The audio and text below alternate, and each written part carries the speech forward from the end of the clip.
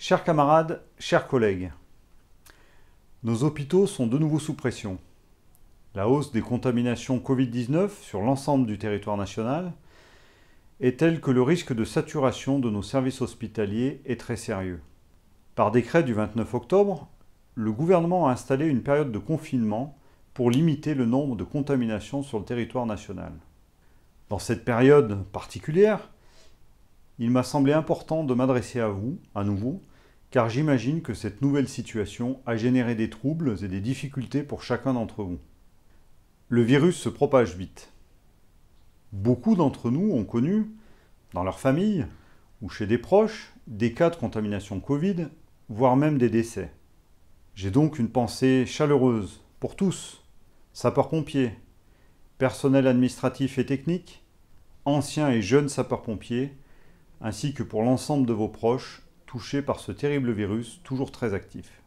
Cette situation préoccupante n'est cependant pas une fatalité. Nous sommes tous acteurs de notre propre sécurité ainsi que de notre sécurité collective.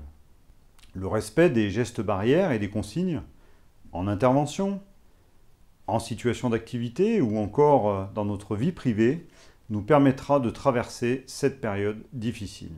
Permettez-moi d'avoir une pensée pour nos anciens. Notre section associative des anciens n'a pas pu se réunir depuis de très nombreux mois. Nous avons également suspendu toutes les activités de la réserve citoyenne des sapeurs-pompiers du Doubs pour les protéger avant tout. Cette nouvelle période de restriction est encore plus difficile à vivre pour les plus vulnérables. Je sais que notre formidable réseau associatif s'attachera à maintenir le lien intergénérationnel avec chacun. Les activités des sections de jeunes sapeurs-pompiers peuvent continuer à l'image de celles des établissements scolaires. Il est important de maintenir ces enseignements essentiels pour permettre à nos jeunes de réussir leur brevet en fin d'année scolaire. Chaque responsable de section locale de JSP a reçu de la part du président de l'association départementale, Jérôme Defrane, une attestation de déplacement permettant aux parents d'accompagner leurs enfants dans les centres de secours support de nos sections. Notre réseau associatif est habituellement, à cette époque de l'année, occupé par les présentations de ces calendriers à la population. Ce moment d'échange direct avec nos concitoyens est toujours un moment important dans la vie de nos amicales. Pour des raisons évidentes de sécurité sanitaire, cette présentation est suspendue.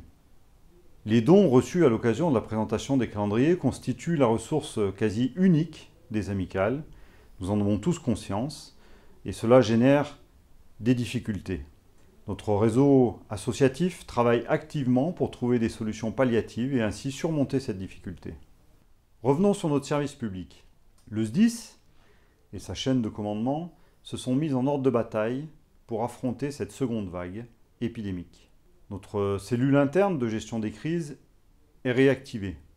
Dans les prochains jours, en complément de ma note du 2 novembre, vous pourrez facilement trouver toutes les informations utiles grâce à notre site intranet.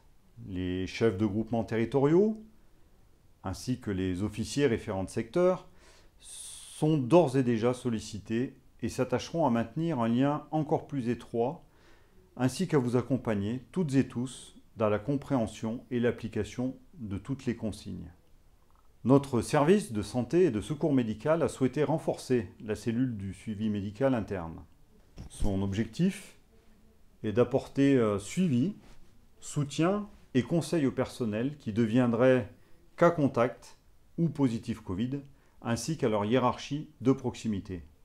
En lien systématique avec les chefs de centre, les officiers référents de secteur, ainsi que vos chefs de groupement respectifs, nous souhaitons assurer un suivi de tous les membres de la communauté qui seraient touchés, de près ou de loin, par cette maladie. Un formulaire est mis en ligne, accessible sur notre site intranet pour faciliter les déclarations.